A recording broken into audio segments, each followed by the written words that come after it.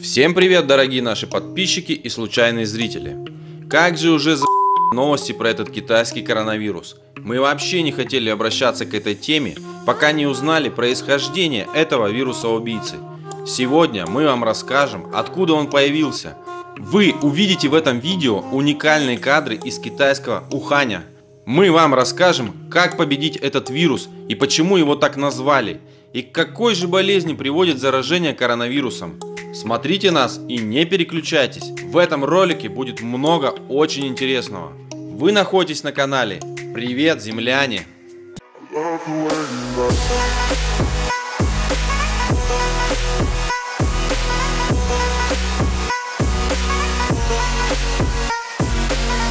Китай подтвердил сотни случаев заболевания в 25 провинциях страны и изолировал многомиллионный город Ухань а в нем проживают более 11 миллионов человек, ну вернее проживало.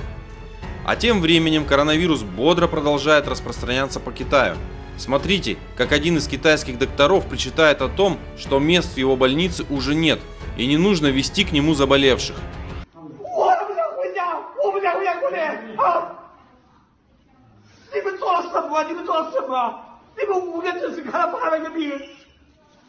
Вы 看他妈一天四个班，还把我们除了八个门生去上班，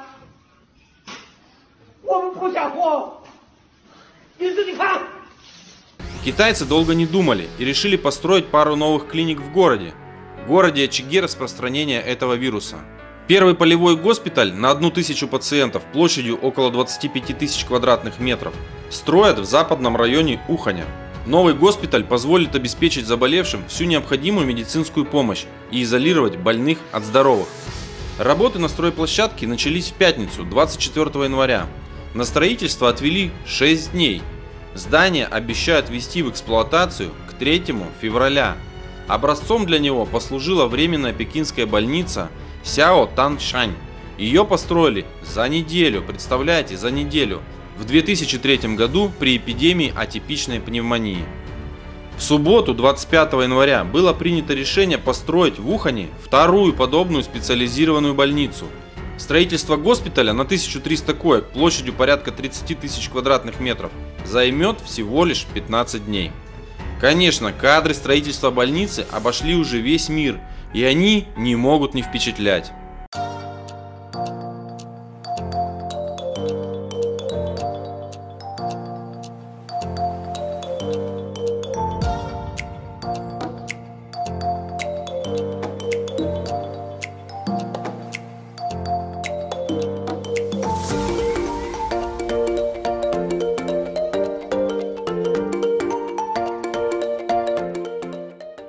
На заводе, где изготавливают защитные маски, скопилась целая очередь людей, где эти маски выдавались сразу же, практически с конвейера.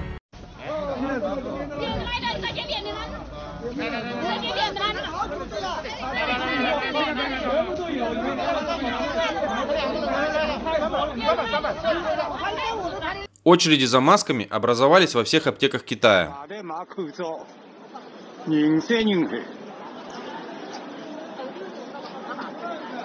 围了伊拉队伍，排了兜了一圈。说 这个是买口罩了？买口罩，买口罩。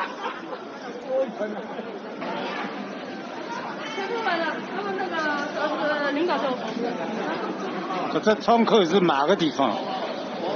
这个窗口是买个地方？队伍就是从这头开始排。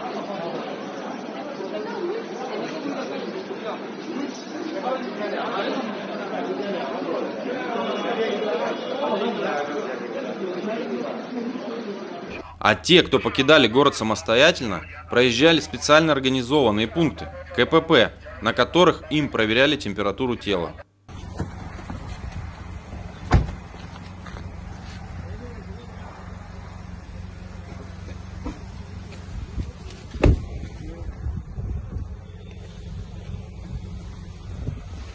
В самом Ухане людей практически уже нет. Люди сами покидали город. Вот вы видите, какая образовалась пробка на выезде из города. Кому-то помогали с эвакуацией.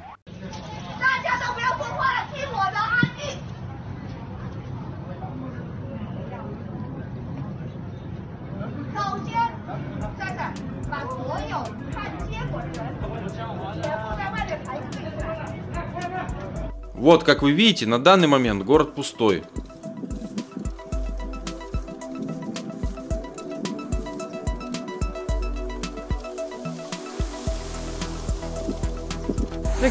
Все магазины не работают, только единицы. Людей особо тоже нет. Так, пару машин.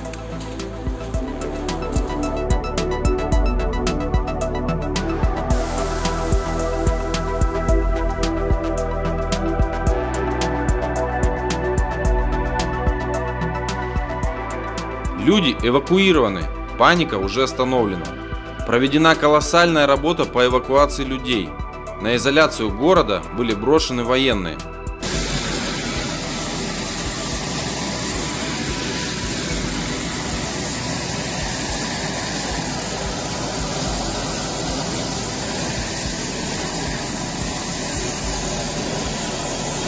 Прилавки и полки в магазинах практически пустые. Ну, каждый, конечно, по-своему готовился к карантину.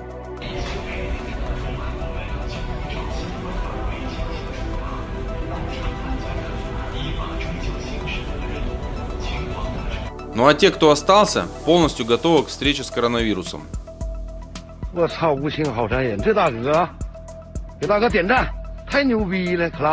Население же ближайших городов ставит заградительные блоки, чтобы зараженные не прошли в их населенный пункт.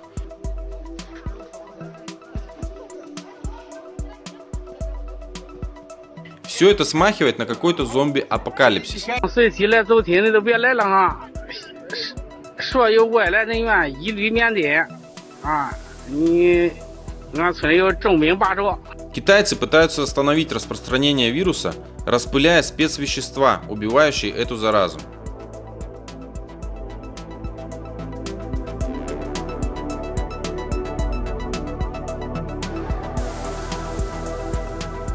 Многих эта ситуация с коронавирусом в какой-то степени потешает. Отличилась в очередной раз датская газета Julian Poston 27 января, опубликовав иллюстрацию к заметке о вспышке коронавируса в Китае, поместив возбудителей болезни на ярко-красный фон, чтобы они напоминали китайский флаг. Через несколько часов после выхода публикации посольство КНР в Дании потребовало извинений у газеты. Главный редактор издания Якоб Нибро заявил, что газета приносить извинения не будет, так как карикатура не является насмешкой над обстановкой в Китае. Итак, что же такое коронавирус и откуда он взялся? Коронавирусы семейства, включающее на январь 2020 года 40 видов вирусов, объединенных в два подсемейства, которые поражают человека, кошек, птиц, собак, крупный рогатый скот, свиней и зайцев. Впервые вирус был выделен аж в 1965 году у пациента с острым ринитом. В середине декабря 2019 года началась вспышка болезни, вызванная новым коронавирусом 2019 nCoV.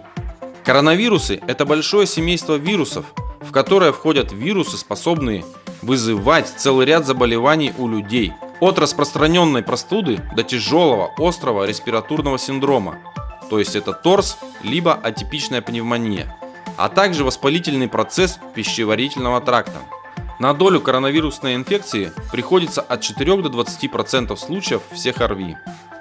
Коронавирусы – это микробы сферической формы, содержащие одноцепочную молекулу РНК – рибонуклеиновая кислота.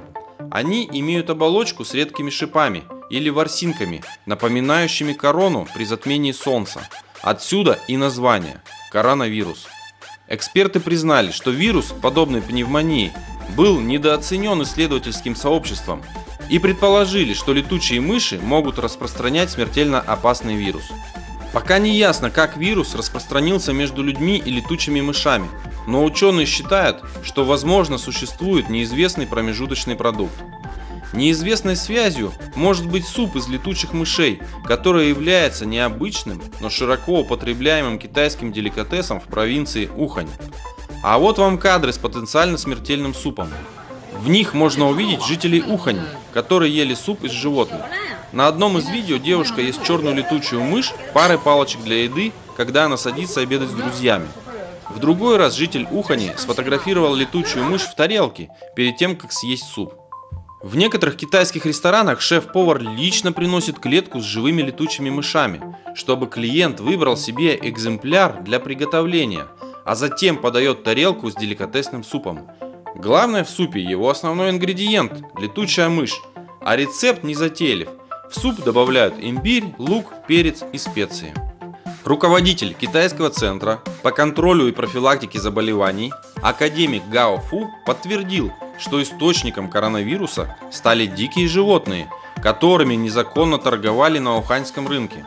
Он также предупредил, что новый вирус адаптируется к меняющимся условиям и мутирует. Как же защитить себя от коронавируса, если вы собираетесь в поездку в Азию? По рекомендациям Роспотребнадзора, в связи с угрозой распространения нового коронавируса, соблюдайте меры предосторожности в поездках. Во-первых, уточняйте эпидемиологическую обстановку при планировании путешествия. Затем, используйте маски для защиты органов дыхания. Пейте только бутылированную воду, ешьте только термически обработанную пищу. Мойте руки перед едой и после посещения многолюдных мест. Не посещайте ни в коем случае рынки, где продаются морепродукты и животные, культурно-массовые мероприятия с участием животных. И при любом недомогании срочно обратитесь за медицинской помощью. А если вы обращаетесь за медицинской помощью на территории Российской Федерации, то обязательно нужно сообщить врачу о времени и месте пребывания в Китае. Мы с вами выяснили, что самым распространенным заболеванием после попадания коронавируса в организм человека является пневмония.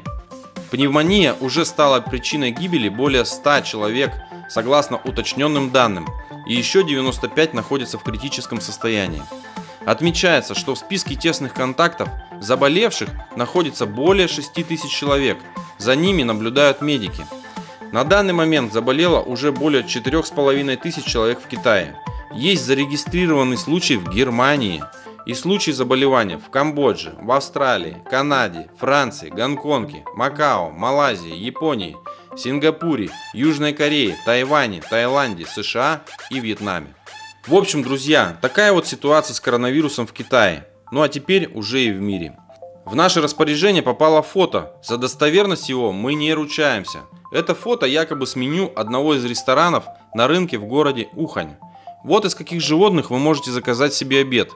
Циферки – это стоимость. Здесь есть все, от павлина и верблюда до змеи, лисы и енотов.